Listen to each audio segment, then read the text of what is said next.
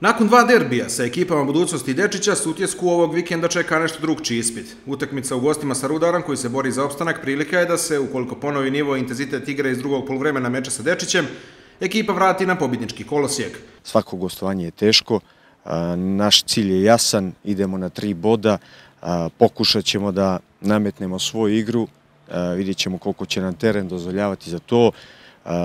Prije svega moramo da imamo dobru disciplinu i moramo da imamo veći motiv od domaćina koji se bori za opstanak jer se mi borimo za titul. E, siguran sam da će igrači dati svoj maksimum i e, da će sve uraditi da posle ove dvije nerješene ostvarimo pobjedu i ostanemo na vrhu tabele.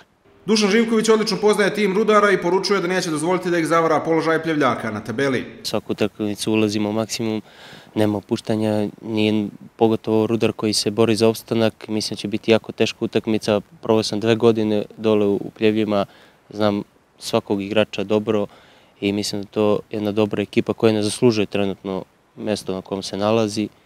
Tako da ulazimo u tu utakmicu maksimalno fokusirani i nadam se da izvučemo pozitivan rezultat. Posljednji trening pred utakmicu pokazat će na koga Brnović može da računa. Još uvijek ne znamo situaciju sa Giljenom i sa Koradom. Što se tiče kapitena, imamo tu adekvatnu zaminu je Ličina koji jako dobro radi, jako dobro trenira. Za Konrada vidjet ćemo posle ovog treninga da li je on spreman.